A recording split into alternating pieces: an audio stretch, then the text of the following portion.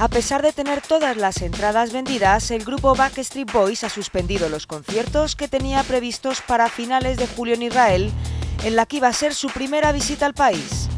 Nick, Brian, Howie, Kevin y AJ han tenido que renunciar a su directo a pesar de que el quinteto estaba muy ilusionado. La boy band más famosa de la década de los 90 ha tenido que emitir un sentido comunicado pidiendo disculpas por la difícil decisión. Es una gran decepción para nosotros y los fans, ya que esta sería nuestra primera visita a Israel y teníamos muchas ganas de conocer a nuestros seguidores. Ya estamos trabajando con los productores en las nuevas fechas durante la primavera de 2015 y las anunciaremos tan pronto como sea posible.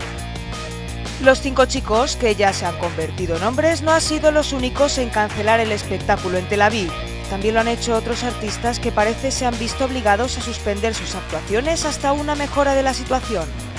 Sin embargo, parece que por el momento siguen en pie las actuaciones de Lana del Rey o Lady Gaga.